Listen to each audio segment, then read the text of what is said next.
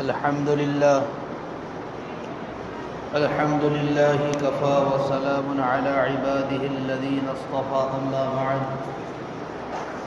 قال الله تعالى في القرآن المجيد والفرقان الحميد. أعوذ بالله من الشيطان الرجيم. بسم الله الرحمن الرحيم.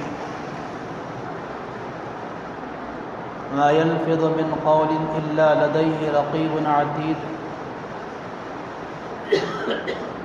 وعن عقبة بن عامر رضي الله عنه قال لقيت رسول الله صلى الله عليه وسلم فقلت من نجاه؟ قال أملك عليك لسانك وليسعك بيتك, بيتك وابكي على خطيئتك أو كما قال صلی اللہ علیہ وسلم. بزرگان محترم، اللہ تعالیٰ نے انسان کو جو نعمتیں دی ہے وہ بہت قیمتی نعمتیں ہیں۔ ان نعمتوں کو کوئی بندہ شمار بھی نہیں کر سکتا اور ان نعمتوں کا کوئی بندہ حق بھی ادا نہیں کر سکتا۔ انہی نعمتوں کے اندر ہماری اپنی ایک زبان ہے۔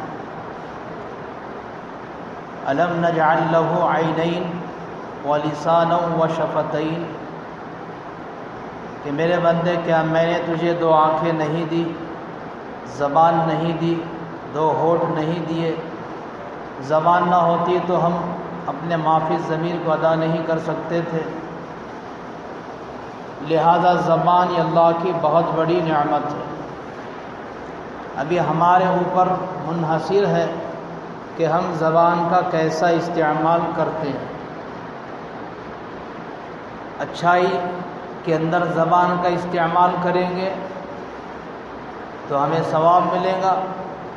اور اگر اسی زبان سے فضول باتیں، بیکار کی باتیں کرتے رہیں گے، تو پھر یہی زبان ہمیں سزا دلائے گی۔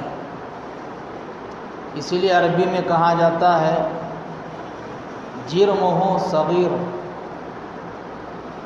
کہ زبان ہے تو بہت چھوٹی، ایک بالش کی، لیکن جرم ہو کبیر، لیکن اس کا گناہ بہت بڑا ہے۔ زبان دکھنے میں چھوٹی ہے، لیکن بڑے بڑے کام وہ کروا دیتی ہے۔ مثال کے طور پر ایک مرد اور ایک عورت غیر محرم ہے۔ یعنی کہ دونوں اجنبی ہے دونوں کا کوئی مسئلہ نہیں۔ یہ اس کو نہیں دیکھ سکتا، وہ اس کو نہیں دیکھ سکتا۔ یہ تنہائی میں اس سے نہیں مل سکتا، وہ تنہائی میں اس سے نہیں مل سکتی۔ لیکن جہاں زبان سے یہ ادا کر دیا کہ قبول کیا میں نے اس کو اور اس کے مہر کو، تو یہ اس کے لیے حلال اور وہ اس کے لیے حلال۔ تو زبان نے صرف چند کلمے ادا کر لیے تو حرام چیز حلال ہو گئی۔ اور یہی زبان اگر خدا نخواستہ ایک شوہر بیوی کے لیے کہے کہ میں نے تجھے طلاق دے دی، تو اس زبان نے صرف دو جملے بول دیے، لیکن ان دونوں کے درمیان علیحدگی ہو گئی۔ اب یہ اس کے لیے حرام، یہ اس کے لیے حرام۔ تو زبان کا بڑا بڑا اہم مسئلہ ہے۔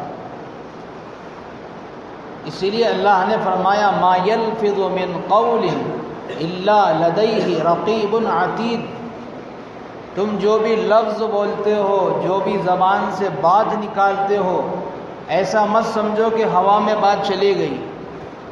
بلکہ میرے فرشتے اس کو لکھ رہے ہیں، ریکارڈ کر رہے ہیں۔ قرآن میں اللہ نے سورہ بنی اسرائیل میں فرمایا، وَكُلَّ إِنسَانٍ أَلْزَمْنَاهُ طَائِرَهُ فِي عُنُقِهِ۔ وَنُخْرِجُ لَهُ يَوْمَ الْقِيَامَةِ كِتَابًا يَلْقَاهُ مَنْشُورًا. اقرأ كِتَابَكَ، كَفَى بِنَفْسِكَ الْيَوْمَ عَلَيْكَ حَسِيبًا. کہ ہم نے ہر انسان کے گلے میں اس کا نام اعمال ڈال دیا ہے۔ وہ جو نام اعمال اس کے اندر جو کچھ لکھا ہوا ہے، وہ انسان کے اپنے کرتوت ہے اور سب سے زیادہ کرتوت جو ہوتے ہیں اور سب سے زیادہ جو برائی ہم سے سرزد ہوتی ہے وہ ہماری اپنی زبان ہے۔ میرا نبی نے فرمایا کہ تم مجھے دو چیزوں کی ضمانت دے دو۔ ازمن لکم الجنہ۔ تم مجھے دو چیزوں کی ضمانت دو۔ ماں بین لحیہی و ماں بین رجلیہی ایک تو اس بات کی ضمانت دو کہ تمہارے دو جگڑوں کے درمیان جو زبان ہے، وہ تم اس کا صحیح استعمال کرو گے اور دو ٹانگوں کے درمیان جو شرمگاہ ہے، اس کا بھی صحیح استعمال کرو گے شرعی طور پر استعمال کرو گے میں تمہیں دنیا ہی میں اس بات گارنٹی دیتا ہوں کہ تمہارے لیے جنت ہے۔ اتنی بڑی بات اللہ کے نبی صلی اللہ علیہ وسلم نے حدیث میں فرمائی کہ دو چیزوں کی ضمانت دے دو۔ اور آج ان دو ہی چیزوں کا جھگڑا ہے۔ فساد انہی دو چیزوں کے بنا پر ہوتا ہے۔ لڑائیاں انہی دو چیزوں کی بنا پر ہوتی ہیں۔ اسی زبان سے آدمی غیبت، جھوٹ، چغلی اور نہ جانے کیا کیا کرتا ہے۔ ایک بزرگ ان کے بارے میں کسی نے آ کر کہا کہ فلاں فلاں آپ کی غیبت کر رہا ہے، آپ کو برا بھلا کہہ رہا ہے کہاں میں اس کی دعوت کروں گا۔ اور میں اس کو ہدیہ بھی دوں گا۔ کہا، حضرت، وہ تو آپ کی برائی بیان کر رہا ہے۔ وہ تو آپ کو برا کہہ رہا ہے، آپ کی غیبت کر رہا ہے۔ تو آپ اس کو دعوت کیوں دے رہے ہیں؟ کہا، بھائی، وہ میرا بڑا محسن ہے کہ وہ اپنی نیکیاں مجھے دے رہا ہے۔ غیبت کرنے والا چغلیاں کرنے والا، یہ اپنی نیکیاں دوسرے کے نام اعمال میں بھیج دیتا ہے۔ اور اس کے جو گناہ ہے، اس کے جو گناہ ہے، جس کی غیبت کی جا رہی ہے، اس کے گناہ اس کے کھاتے میں چلے گئے۔ اور آج تو یہ چیز سمجھنا آسان ہے کہ بھائی پیسے ٹرانسفر کر رہے ہیں، پہنچ جاتے ہیں۔ تو ایسے ہی جو غیبت کر رہا ہے، چغلی کر رہا ہے، اس کی نیکیاں اس کے کھاتے میں، اور جس کی غیبت ہو رہی ہے، اس کے گناہ اس کے کھاتے میں۔ تو کہا تو میرا بہت بڑا محسن ہے یہ تو کہ مجھے فری میں نیکیاں دے رہا ہے۔ نیکی کمانا کتنا مشکل ہے تو ہم سب جانتے ہیں۔ اور آج کے زمانے میں کتنا مشکل ہو گیا ہے۔ نماز پڑھنا مشکل ہو گیا، ذکر کرنا مشکل ہو گیا، تلاوت کرنا مشکل ہو گئی، صدقہ خیرات کرنا مشکل ہو گیا، نیکیاں مشکل ہو گئی، گناہ آسان ہو گئے۔ آنکھ سے گناہ آسان ہو گئے، زبان سے گناہ آسان ہو گئے، دل دماغ سے گناہ آسان ہو گئے، غرض ہے کہ گناہ آسان ہو گیا اور نیکی مشکل ہو گئی۔ تو کہا، یہ تو میرا بڑا محسن ہے کہ مجھے فری میں نیکیاں بھیج رہا ہے، اس لیے میں اس کی دعوت بھی کروں گا، اس کو میں ہدیہ بھی دوں گا۔ تو دیکھو، اس کی زبان نے غیبتیں کی، تو دوسرے کی، دوسرے کے گناہ اس کے کھاتے میں جا رہے ہیں۔ اور اس کی خود کی نیکیاں دوسروں کو جا رہی ہیں۔ صرف زبان نے کام کیا۔ اے فلاں فلاں ایسا ہے۔ تو زبان ایک اللہ کی بہت بڑی نعمت ہے۔ لیکن آج یہی زبان ہماری بیجا استعمال ہوتی ہے۔ جو حدیث میں نے آپ کے سامنے پڑھی ہے، دیکھیے صحابہ کرام کی ایک بہت اچھی عادت تھی۔ کہ وہ اللہ کے نبی صلی اللہ علیہ وسلم سے سوالات پوچھتے تھے۔ بیجا سوالات نہیں، کہ آسمان میں کتنے ستارے ہیں اور آدم علیہ السلام کا خط کتنا اونچا تھا اور کتنا نیچا تھا، ایسے سوال نہیں کرتے تھے، کام کے سوال۔ تو عقبہ ابن عامر رضی اللہ عنہ نے بھی اللہ کے نبی سے سوال کیا اور یہ سوال کر کے ساری امت پر احسان کر دیا۔ ساری امت پر قیامت تک جتنے لوگ آئیں گے، سب پر عقبہ ابن عامر رضی اللہ تعالیٰ عنہ نے احسان کیا کہ کیا عجیب سوال کیا اور کیا سوال کیا کہ اللہ کے نبی صلی اللہ علیہ وسلم، من نجات؟ نجات ہمیں کیسی ملیں گی؟ جہنم سے ہم کیسے بچ جائیں گے؟ جنت میں ہم کیسے چلے جائیں گے؟ کبھی ہم نے کسی عالم سے، کسی مفتی سے ایسا سوال کیا؟ ہم تو عالم مفتی کے پاس جاتے ہیں تو بھائی تعویذ دو۔ گھر میں جھگڑے ہو رہے ہیں، تعویذ دو۔ ایک عورت جو ہے تو ایک عامل کے پاس گئی کہ بھائی میرے میاں بیوی، ہم دونوں میں بہت جھگڑا ہو رہا ہے۔ تو کوئی تعویذ دیجیے اور جھگڑا کیوں ہوتا ہے؟ صرف اس کی وجہ یہ ہے کہ یہ کہتا ہے کہ میں بڑا، انہیں کہتی ہے کہ میں بڑا۔ یہ جھکنے کو تیار نہیں اور وہ بھی جھکنے کو تیار نہیں۔ تو خیر عامل کے پاس گئی اور جانے کے بعد اس نے کہا کہ ہماری بن نہیں رہی ہے۔ اور آج اکثر طلاقیں جو ہو رہی ہے ہمارے معاشرے میں، ہماری سوسائٹی میں، اس کی وجہ یہ ہے کہ عورت کے اندر اللہ نے یہ مادہ رکھا ہے کہ وہ شوہر کی فرما مردار ہوتی ہے۔ محسنات المومنات الغافلات، قرآن نے یہ لفظ استعمال کیے ہیں۔ لیکن آج کی ہماری معاشرے کی عورت یہ کہتی ہے کہ شوہر بولے تم جرو کا غلام بن جانا چاہیے۔ میں اس کے ماتحت میں نہیں، وہ میرے ماتحت میں آنا چاہیے۔ ایسا تعویذ دیجیے ولی صاحب کہ وہ میرا غلام بن جائے۔ ماں کی بھی نہ سنے، باپ کی بھی نہ سنے، بیٹوں کی بھی نہ سنے، بس میری ہی سنے۔ اور کچھ اس کی طبیعت کے خلاف کام ہو گیا، بس پورا گھر سر کے اوپر لے لی۔ تو تعویذیں مانگتی ہیں عورتیں۔ جھگڑوں کی بنیاد یہی زبان ہے، زبان۔ تو خیر، اس نے تعویذ مانگا۔ تو انہوں نے کہا، دیکھ، جب تیرا شوہر آنے کا وقت ہو جائے، ہوتا یوں ہے کہ وہی شوہر گھر میں جب آتا ہے تو باہر سے کام دھندا کر کے آتا ہے۔ اس کے اندر بدن میں تھکان ہوتی ہے، دماغ میں جو ہے تو بھائی مختلف مسائل ہوتے ہیں ذہن میں۔ اب گھر میں آتے کے ساتھ ہی بیوی جو ہے تو گھر کے سارے مسائل سنانا شروع کر دی۔ ابھی دروازے میں قدم ہی رکھا شوہر نے کہ سارے مسئلے وہیں سے شروع۔ تمہارے بچے نے ایسا کیا، تمہاری ماں نے ایسا کیا، تمہاری بہن نے ایسا کیا۔ اب شوہر کا تو بھائی پارا تو پھر گرم ہو ہی جائے گا۔ اور پھر یقیناً پھر وہ بات ہوگی کہ طلاق تک نوبت آئے گی۔ دروازے سے ہی چرانا شروع کر دی۔ میں اس کو آنے دے، اس کو کھانا کھانے دے، اس کو بیٹھنے دے، اس کو آرام کرنے دے۔ پھر اس کے بعد اپنے مسائل رکھ، ایسا ایسا ہوا۔ لیکن اگر ایسا ہو رہا ہے تو پھر تبھی طلاق تک نوبت آئے گی، وہ کچھ بولے گی، انہیں کچھ بولے گا۔ اور پھر اچانک میں زبان سے بے اختیار کہیں طلاق کے الفاظ نکل گئے، دونوں کی زندگیاں جہنم بن جائیں گی۔ تو انہوں نے ایک نصیحت کی، ایک تعویذ دیا۔ تعویذ یہ دیا، کہاں جب تیرا شوہر گھر میں آئے نا، تو اس کے آنے سے دس منٹ پہلے، پانچ منٹ پہلے اپنے منہ کے اندر پانی لے کے بیٹھ جانا۔ اور آدھا گھنٹہ، پندرہ منٹ شوہر کے آنے کے بعد منہ میں سے پانی نکالنا نہیں۔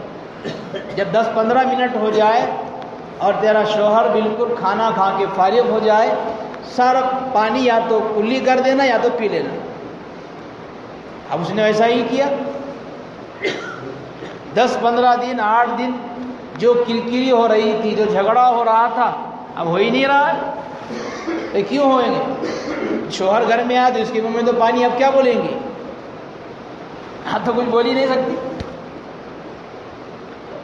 تو اس نے جو ہے تو عامل صاحب کو، تعویذ دینے والے صاحب کو مٹھائی کا ڈبہ لیا کے دے دی۔ کہ بھائی آپ کا بہت بہت شکریہ، ہمارا جھگڑا ختم ہو گیا۔ تو تعویذ نہیں تھا، ایک ایک ایک ترکیب تھی کہ بھائی اس طرح سے انہوں نے ان کے گھر کو جھگڑے کو ختم کیا۔ تو جھگڑے کی بنیاد کون بنتی ہے؟ یہی زبان بنتی ہے۔ پہلے ہاتھ تھوڑی اٹھتے ہیں، پہلے جو ہے تو پیر تھوڑی اٹھتے ہیں۔ پہلے تو زبان کام کرتی ہے، پھر اس کے بعد سارا بدن کام کرتا ہے۔ اس لیے حدیث میں ہے کہ اللہ کے نبی صلی اللہ علیہ وسلم نے فرمایا، جب صبح ہوتی ہے، جب صبح ہوتی ہے تو سارے بدن کے اعضاء زبان سے کہتے ہیں، اے زبان دیکھ اللہ کے واسطے، تو سیدھی رہ۔ تو سیدھی رہے گی تو ہم بھی سیدھے رہیں گے۔ تو اگر ٹیڑھی ہو گئی تو پھر ہمیں مار کھانا پڑے گی۔ اور دیکھیے، زبان کو اللہ نے کتنے پیکنگ میں رکھا ہے۔ زبان دانتوں کے اندر اور پھر دانت کے باہر دو ہمارے ہوٹ، انہیں دو دو دروازے اس کو لگے ہوئے ہیں۔ بتیس دانتوں میں چھپ کے بھی اتنا بھاری کام کرتی ہے۔ اور کانوں پر کوئی پردہ نہیں۔ لیکن زبان پہ اللہ نے اتنے تالے لگائے، دو دو تالے۔ ان تالوں کے باوجود بھی زبان ایسی چلتی ہے، قیسی بھی اتنی بھاری نہیں چلتی ہوں۔ اس لیے اللہ والوں نے یہ بات کی، لکھی ہے کہ پہلے تولو اور پھر بولو۔ کہ پہلے تولو بھائی کہ بھئی کیا بولنا ہے مجھ کو؟ ایک بزرگ کے بارے میں کتابوں میں لکھا ہے، وہ اپنے روزانہ کی گفتگو کو کاپی پر لکھتے تھے کہ دن بھر میں نے کتنی بات صحیح کی اور کتنی بات میں نے غلط کی۔ صحیح پر اللہ کا شکر ادا کرتے تھے، غلط بات پر اللہ سے توبہ توبہ اور استغفار کرتے تھے۔ آج ہمارے پاس ہے بھائی یہ جائزہ؟ کتنی ہی باتیں ہماری زبان سے ایسی نکلتی ہیں جو ناجائز نہیں بلکہ حرام تک پہنچ جاتی تو عقبہ ابن عامر رضی اللہ عنہ نے اللہ کے نبی سے پوچھا، من نجات؟ نجات کیسی ملے گی؟ سوال کیا انہوں نے۔ سوالات کرتے تھے، قرآن میں بھی ان کے سوالات کے جو ہے تو چیزوں کو اللہ نے قرآن میں بیان کیا۔ معلوم ہوا کہ سوال کرنا ایک اچھی چیز ہے۔ السوال نصف العلم۔ پوچھنا آدھا علم ہے جو پوچھنے میں شرمائے گا، اسے علم حاصل نہیں ہوگا۔ میں میں تو دادا بن گیا، میں تو نانا بن گیا، میں تو بڑی عمر کا ہو گیا۔ اب میں مسئلہ پوچھوں گا تو مجھے شرم آئیں گی۔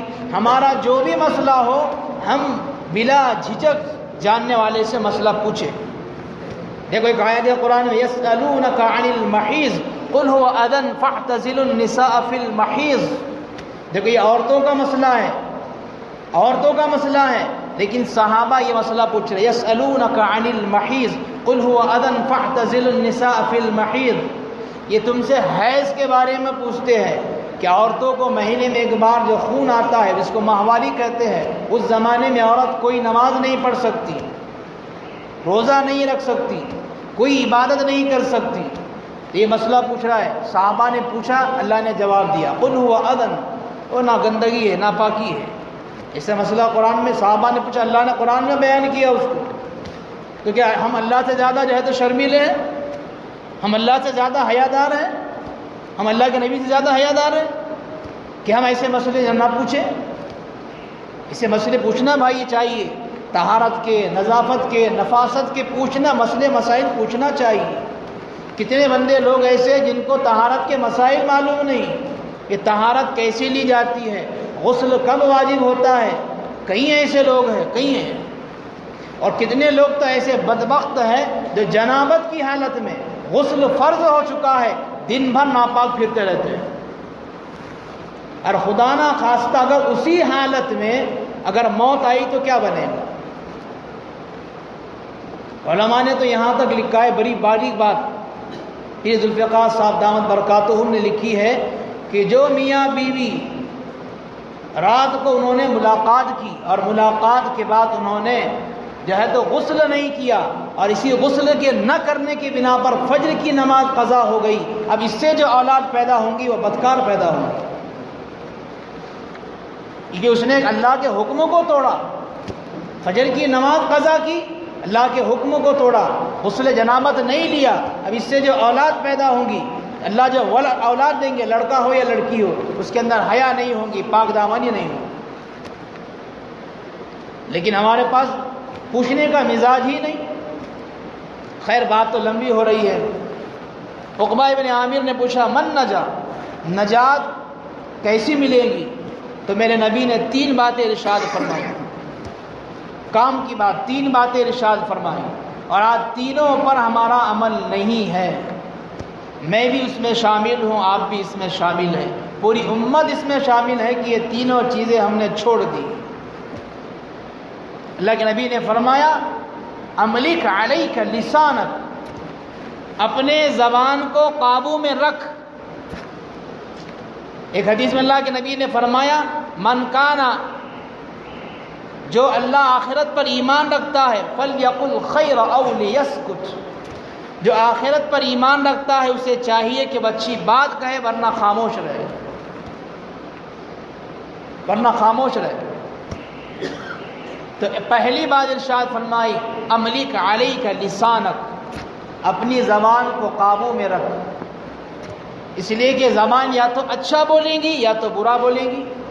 اسی لیے کسی کہنے والے نے کہا، آدمی زبان کے بنا پر، زبان کے استعمال کے بنا پر آدمی یا تو دل میں اتر جاتا ہے یا پھر دل سے اتر جاتا ہے۔ زبان ایک لفظ نکل گیا بھائی۔ کوئی سخت جملہ بول دیا۔ آدمی کے دل کو لگ جاتا ہے۔ عربی میں کسی عربی کے اندر کہا جاتا ہے، جراحت السنان الہتیام ولا یلتام ما جرح اللسان۔ کہ تلوار کا تیر کا زخم تو بھر جائے گا، لیکن زبان سے جو آپ نے بول دیا وہ نہیں بھرے گا۔ وہ نہیں بھرے گا اس لیے عملی علی کا لسانک، اپنی زبان پر کنٹرول رکھے، کنٹرول۔ اور یہ چیز میرے بھائیوں گھر بیٹھے آپ کو نہیں ملے گی۔ آپ کو ایسی لوگوں کی صحبت میں بیٹھنا پڑے گا جو اکثر و بیشتر خاموش رہتے ہیں۔ کسی نے، کسی شاعر نے یہ بات کہی ہے، کہہ رہا ہے، موج دریا سمندر کا سکوت۔ کہہ رہا ہے، موج دریا سمندر کا سکوت، جس میں جتنا ظرف ہے اتنا ہی وہ خاموش ہے۔ جو لوگ خاموش رہتے ہیں، ان کی صحبت میں بیٹھیے۔ جو بڑھ بڑھ بڑھ کرتے رہ رہے ہیں، ان کی صحبت میں کیوں بیٹھ رہے ہیں؟ اور آپ تو فون نکلا ہوا بھائی، سیل فون، موبائل۔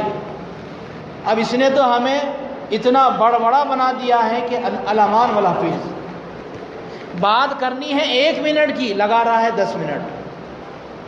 ایک تو وقت اس میں ضائع ہو رہا ہے، اللہ کی نعمت ہے وقت۔ دوسرے تیرے جو بیلنس ہے، وہ بھی ایسے ہی چلے جا رہا ہے ایران تران کی بات میں۔ کیا فائدہ؟ بھائی جتنی بات کرنا ہے، اتنی بات کیجیے۔ السلام علیکم، وعلیکم السلام۔ علماء نے مستقل موبائل کے اوپر ایک کتاب نکلی ہے، موبائل کا استعمال۔ کہ موبائل کیسا استعمال کرے، کب کرے، کیا نہ کرے۔ اب ایک آدمی رات کو سویا ہوا ہے، رات کے بارہ بجے یا جو بھی اس کا ٹائم ہے سونے کا، اب آپ نے فون لگا دیا، اس کو آپ نے تکلیف دے دی۔ پہلے وقت پوچھے کہ میں فون آپ فلاں فلاں وقت میں لگا سکتا ہوں یا نہیں؟ ہم تو کبھی بھی لگاتے ہیں۔ کبھی بھی لگا رہے ہیں۔ مفتی تقی صاحب عثمانی دحمد برکاتم نے اپنا واقعہ سنایا کہ ایک مرتبہ رات کے بارہ یا ایک بجے جو ہے تو مجھ کو کال آیا، فون آیا۔ تو میں نے ایسے ہی اپنا اس کو جانے دیا کہ بھی اتنا وقت نیند خراب ہو جائے گی۔ لیکن جب بار بار آیا تو میں نے اٹھایا۔ تو اس نے مجھے مسئلہ پوچھا اور مسئلہ بھی ایسا پوچھا کہ جو اہم نہیں تھا۔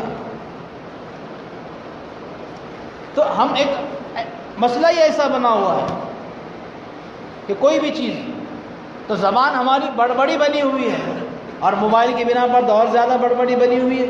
اب جو شرک چھاپ عاشق ہے، وہ تو پوچھئے ہی مت، پوری رات کالنگ میں گزار رہے ہیں۔ کالنگ اور چیٹنگ کالنگ اور چیٹنگ کبھی واٹس ایپ پر تو کبھی فیس بک پر۔ حالانکہ وہ مسئلہ تو معلوم ہے کہ بھائی وہ ناجائز چیز ہے۔ وہ تیری بیوی بنی بھی نہیں ابھی۔ نہ وہ تیری بیٹی ہے، نہ تیری بہن ہے۔ لیکن اس سے باتیں کر رہا ہے بھائی میرا بھی رسم ہوا ہے، رسم۔ تو رسم ہونے سے کہیں نکاح حلال، نکاح تھوڑی ہوا ہے۔ نکاح تھوڑی ہوا ہے۔ رسم ہونے سے حلال نہیں ہو جاتی۔ کتنے نوجوان ایسے ہیں جو رسم ہونے کے بعد گھر لڑکی والے بھی فری چھوڑ رہے ہیں پہ رسم ہو گیا۔ لڑکے والے بھی فری چھوڑ کر رسم ہو گیا، تو پھر کیا کرو؟ دونوں پارک میں گھومو۔ اور شادی سے پہلے ہی جو ہے تو جو کرنا ہے وہ کر لو۔ استغفر اللہ میرے بھائی۔ اور یہ سارا جو کچھ ہو رہا ہے، یہ فون کے اوپر۔ فون کے اوپر۔ ہمارے بڑوں کے اندر قاری صدیق صاحب باندوی رحمۃ اللہ علیہ ان کی دادی جان کا تقوی میں آپ کو بتاتا ہوں۔ ایسی اللہ والے پیدا نہیں ہوتے ہیں۔ خون جگر پینے کو، لخت جگر کھانے کو، یہ غذا ملتی ہے جانا تیرے دیوانے کو۔ جب یہ پی لیتے ہیں، اپنے خواہشات کو دفن کرتے ہیں، جب اللہ تعالیٰ جنید بغدادی جیسے لوگ پیدا کرتے ہیں۔ آج ہماری ماؤں نے وہ ویسی اولاد جنت چھوڑ دی، اس لیے کہ وہ خود ویسی ہے ہی نہیں۔ صدیق صاحب باندی رحمۃ اللہ علیہ کے دادی جان کا پردہ دیکھیے تقوا دیکھیے۔ ان کی کوئی زمین تھی، وہ زمین انہی کی تھی۔ لیکن صرف یہ کام کرنا تھا کہ سائن دینے کے لیے، دستخط دینے کے لیے کورڑ میں جانا تھا۔ سرکاری کام کرنا تھا۔ تو ان کے رشتہ داروں نے یہ بات کہی کہ آپ دستخط کے لیے کورڑ میں آئے، کہا میں نہیں آتی۔ تو کورڑ کے لوگ یہاں پر ان کے گھر پر آئے۔ کہ آپ یہاں پر دیجیے۔ کہاں تم دستخط کہہ رہے ہیں؟ میں انگوٹھا بھی نہیں دینا چاہتی کہ میرا کوئی انگوٹھے کا نقشہ بھی دیکھے۔ میرے انگوٹھے کا کوئی نقشہ بھی دیکھے۔ جب اللہ نے ایسے لوگ دیے کہ قاری صدیق صاحب باندھی علیہ رحمہ جیسا آپ کو پوتا دیا۔ تو میرے بھائیو، سب سے پہلی نصیحت کی ہے عملی کا علیہ کا لسان اپنی زبان کی آپ حفاظت کیجیے دوسری نصیحت کی ول یس تیرا گھر تیرے لیے کافی ہو جائے۔ یعنی تو گھر سے باہر جب نکل تو ضرورت ہو تو نکل۔ بلا وجہ گھر سے باہر مت نکل۔ اور اب ہمارے نوجوان تو رات بھر گھر سے باہر۔ دن بھی باہر، رات بھی باہر۔ نہ ماں باپ کو ٹائم دے رہے ہیں، نہ بیوی بچوں کو ٹائم دے رہے ہیں، نہ اپنا سوچ رہے ہیں، نہ ان کا سوچ رہے ہیں۔ پوری رات باہر۔ بلا ضرورت باہر۔ جبکہ نبی یہ کہہ رہے ہیں، ول یس تیرا گھر تیرے لیے کافی ہو جائے۔ ضرورت کے تحت ہی گھر سے باہر نکل۔ اور تیسری نصیحت کی وب کی اعلیٰ خطی تو اپنے گناہ پر روتا رہے۔ کیونکہ کوئی بھی انسان دودھ کا دھلا ہوا نہیں ہے۔ دودھ کا دھلا ہوا کوئی نہیں ہے۔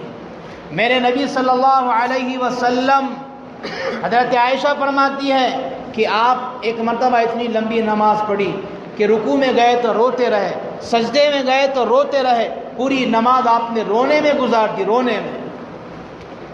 کہا اللہ کے نبی، آپ تو بخشے بخشائے ہیں۔ پھر آپ کیوں رو رہے ہیں نماز میں؟ کیوں رو رہے ہیں؟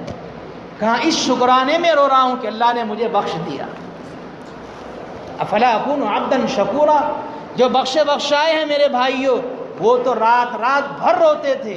امام اعظم ابو حنیفہ رحمۃ اللہ علیہ قرآن پاک کی ایک آیت پڑھتے تھے سورہ یاسین کی ومتاز اليوم ایوہ المجرمون اللہ فرمائیں گے میدان محشر میں ومتاز اليوم ایوہ المجرمون اے گنہگارو، آج متقی لوگوں سے، نیک لوگوں سے تم الگ ہو جاؤ۔ دنیا میں تم ساتھ میں رہتے تھے، لیکن آخرت میں میرا معاملہ یہ ہے، متقی الگ ہوں گے، گنہگار الگ ہوں گے۔ تمہیں آج یہ جائز ہی نہیں کہ آج تم ساتھ میں رہو۔ ممتاز اليوم ایوہ المجرمون۔ اے گنہگارو، آج الگ ہو جاؤ نیک لوگوں سے۔ امام اعظم و حنیفہ خود کو گنہگار سمجھ کی آیت پر روتے تھے۔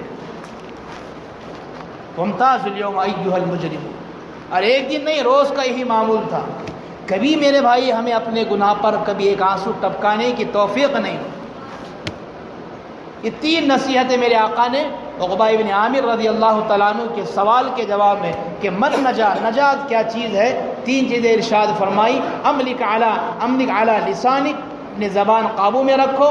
ولیس آبیتک اور اپنے گھر سے بلا ضرورت باہر نہ نکلو۔ اور تیسری چیز فرمائی وب کی اعلیٰ خطیتک اپنے گناہ پر ہمیشہ روتے رہو۔ یہ تین نصیحتیں اگر کوئی بھی مسلمان ان تین باتوں پر عمل کر لے، انشاءاللہ، ثم انشاءاللہ اسے نجات حاصل ہو جائے گی۔ اللہ سے دعا ہے کہ اللہ مجھے بھی اور آپ کو بھی ان تین نصیحتوں پر عمل کی توفیق عطا فرمائے۔ وما علینا الا البلاغ۔